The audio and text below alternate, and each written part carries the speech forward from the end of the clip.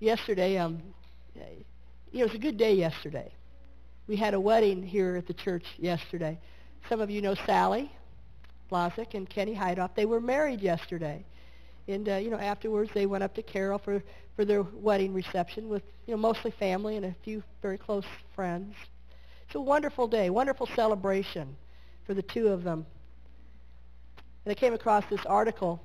It's from it's an old article. It's from June of 1990. It was in the Boston Globe, and it was about a, a wedding reception, an unusual wedding reception. There was a woman and her fiance had they had arranged to have their wedding reception at, at, at the Hyatt Hotel in Boston.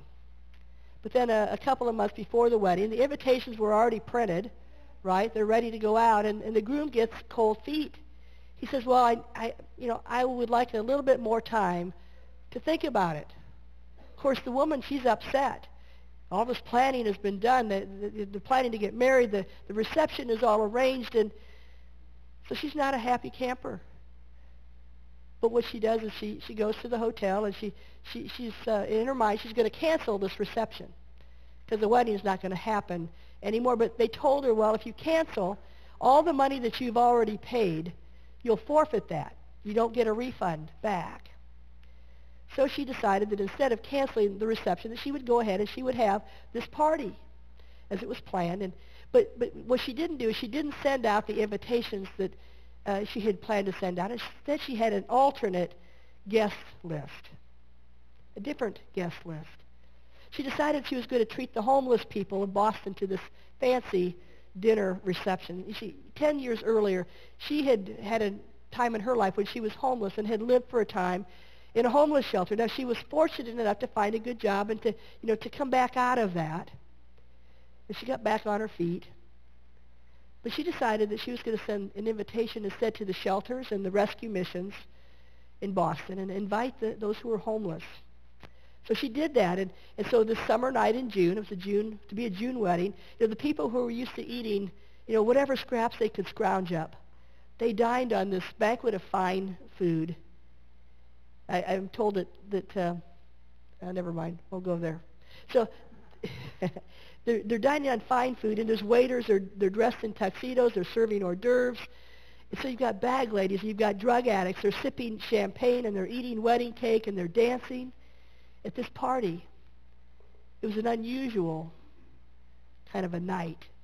and then in the scripture that we just read from Luke's gospel, Jesus also tells a story about another host who refused to let a good party go to waste It was also a party where there was an alternate guest list, where the, those who were invited first couldn't come. Now, we started the sermon series on parables, and so this is a parable.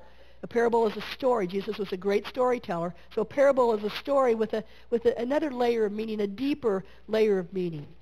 And Jesus often taught in parables, and most of his parables, they, they're intended to give us a glimpse, right, a glimpse into what the kingdom of God is like. I need to set the stage here just a little bit, you know, where this where the scripture started, because Jesus is the guest at a dinner party.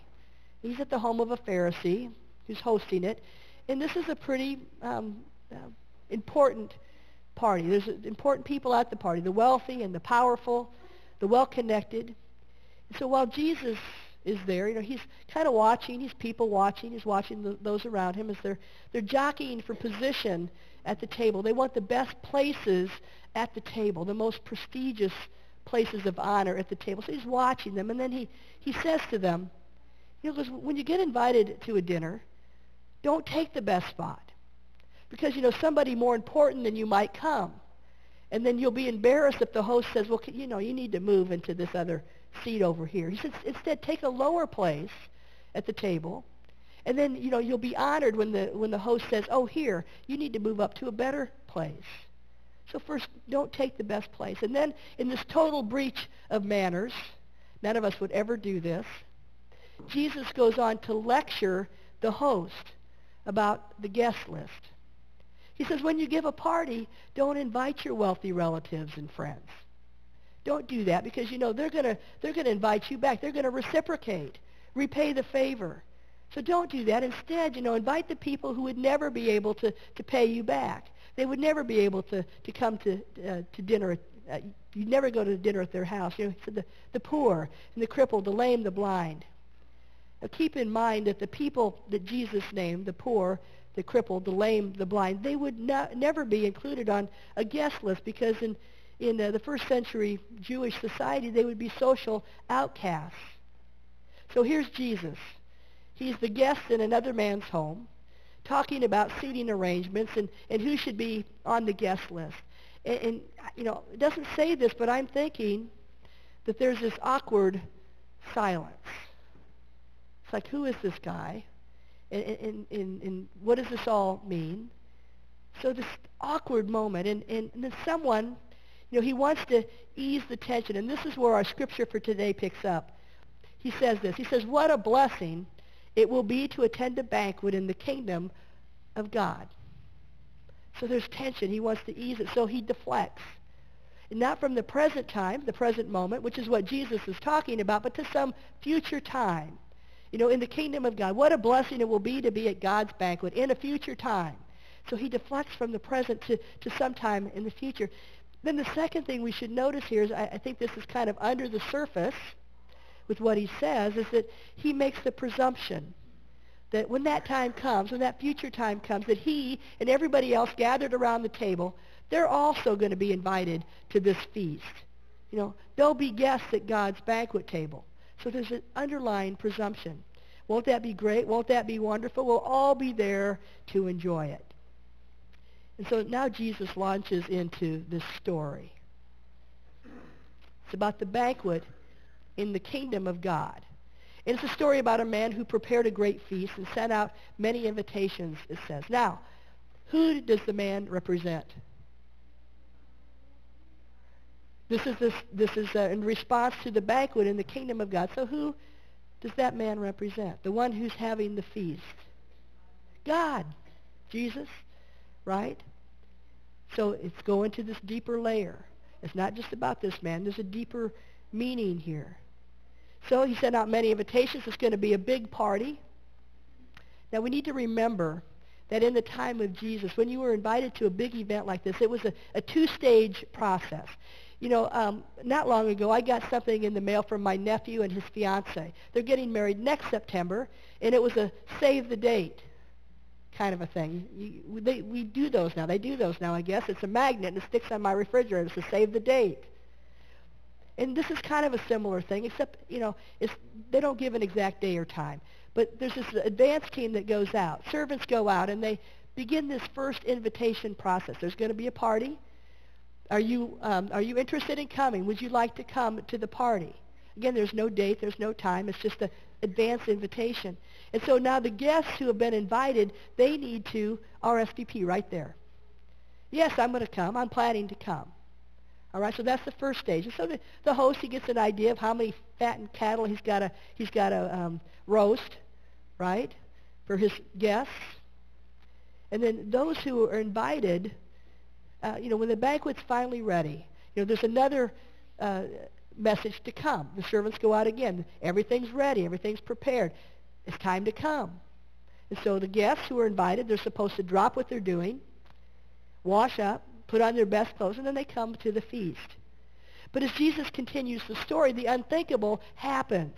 It seems that those who have been invited, says all the invited guests, those who originally said they were coming, they've changed their minds and they've, they've asked to be excused.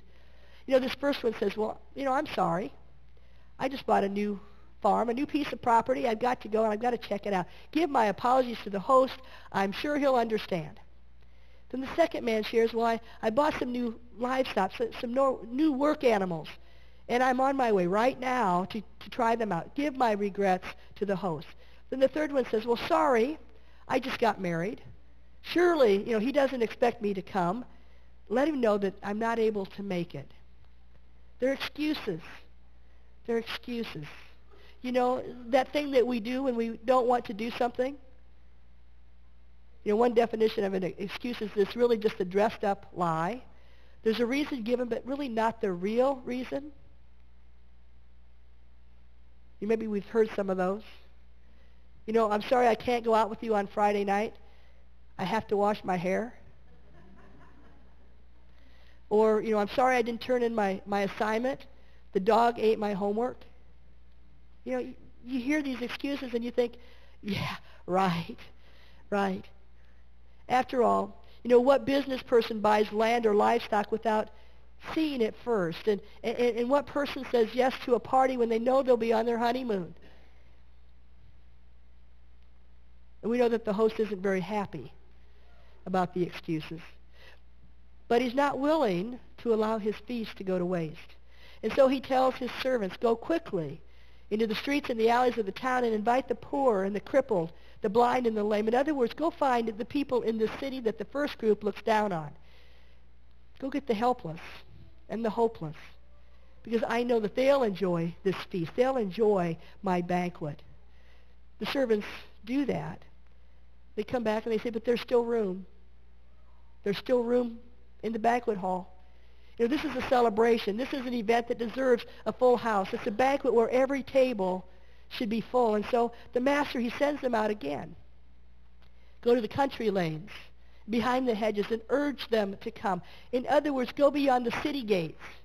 Invite those who aren't Jewish to come.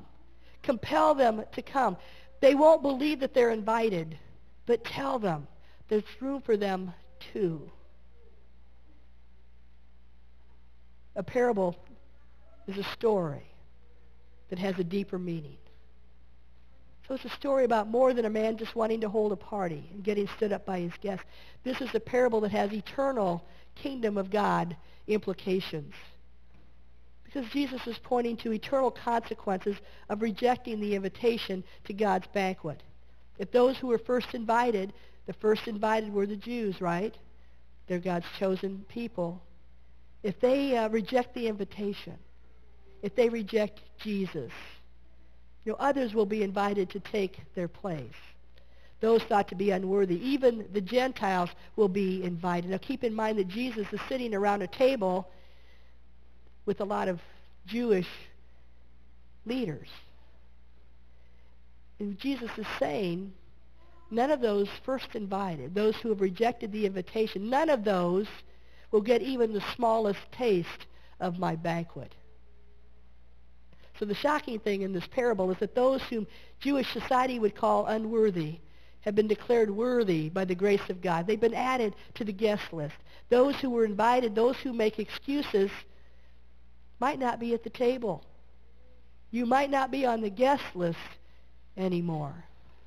Others will be invited to take your place at God's heavenly banquet. Now, I'm sure that given the setting, given where he was, that this probably wasn't well received. It probably didn't endear him to those people sitting with him at the table. So what are the takeaways for us? Well, first of all, is to understand that we have been invited.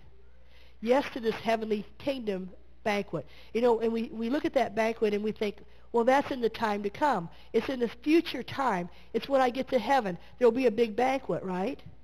We say that in our communion liturgy every month. That this, there's a banquet table that's there. But, you know, there's something we need to remember, and that's the, that the kingdom of God isn't just some future time. Yes, that's true, but it's also in the present time. You know, we say the Lord's Prayer. You know, thy, thy uh, kingdom come, thy will be done on earth as it is in heaven. The kingdom of God is already here. It's a current reality for us. And so we need to, we need to be mindful of that. Yes, there's going to be a heavenly banquet. And we're, and we're all invited to that.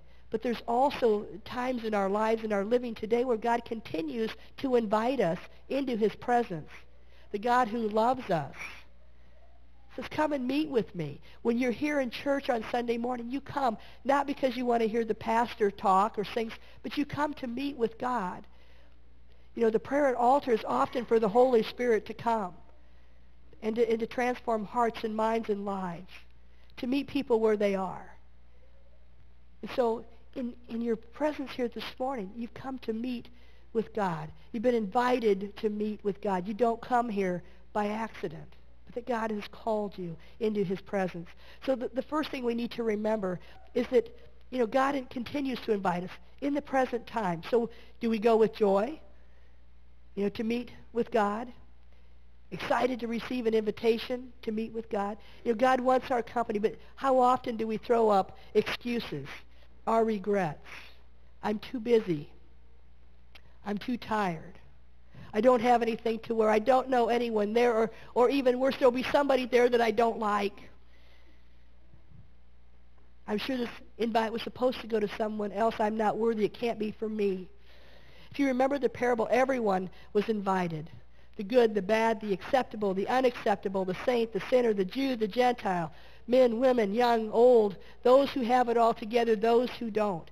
We've been invited into something so much bigger than ourselves and in this life that we live. The God of the universe, the God of creation, wants to be with us, wants us to spend time with him. You know, yesterday was a busy day.